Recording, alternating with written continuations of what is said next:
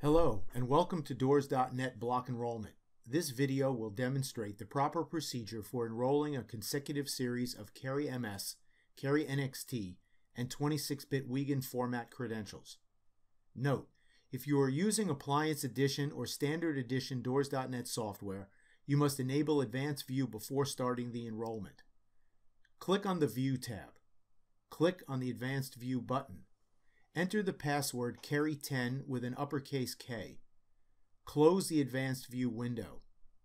Click on the Home tab. Click on the Cardholders button. Click on the Block Enroll button. The Enrollment Wizard window will open. Leave the default text for first and last name and template with the default values. Enter the number of records to be enrolled. Note, the credentials must be in a sequential order. Check the box to add credentials. Enter the starting card number of the sequential block being enrolled. Set the status by clicking on the drop-down arrow and select Not Active. If enrolling Keri MS or 26-bit Wiegand format credentials, check the Calculate Internal Number box. Select the card format from the drop-down list. It will be either Wiegand 26-bit, Keri NXT, or Keri MS. enter the facility code of the sequential block of credentials. Note, if you are enrolling Keri NXT format credentials, there is no facility code required, so the facility code field will not appear. Click the Start button. A review window will appear. Verify that the information is correct. If not, click the Cancel button and make any necessary corrections. Otherwise, click OK. The block enroll will commence and add the new credentials to the cardholder spreadsheet.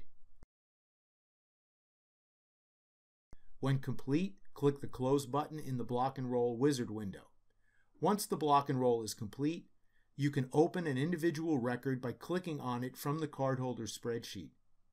Edit the record by replacing the default first name and last name with the person's actual name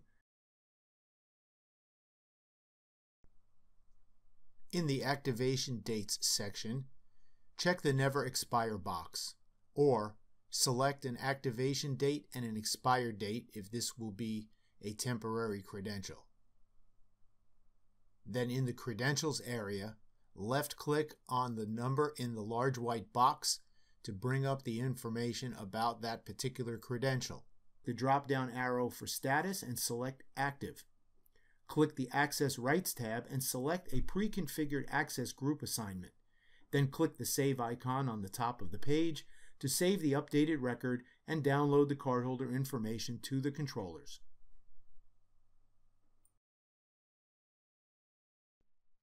Thank you for watching.